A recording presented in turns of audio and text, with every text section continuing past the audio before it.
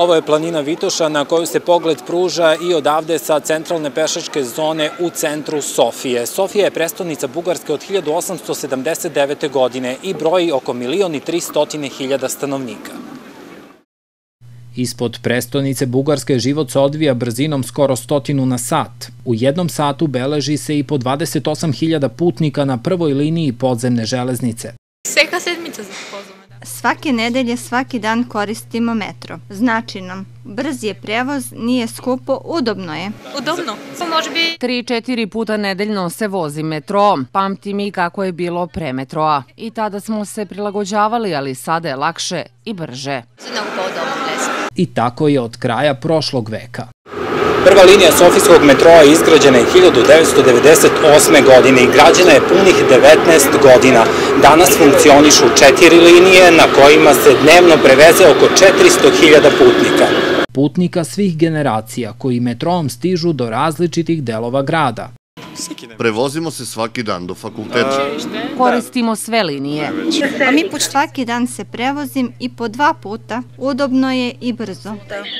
Brže, ali i sve dalje mogu metroom. Uz podršku Evropske unije, tokom poslednjih 15 godina izgrađena su 34 km, rekao je novinarima tokom medijske posete u sklopu programa Puls Evrope tadašnji direktor Sofijskog metropolitena Stojan Bratojev.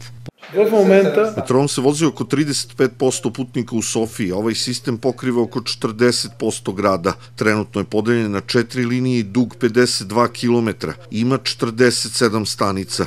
Gradi se 9 novih kilometara sa 10 novih stanica. Teško je finansiranje, ali je važno da imamo spremne projekte.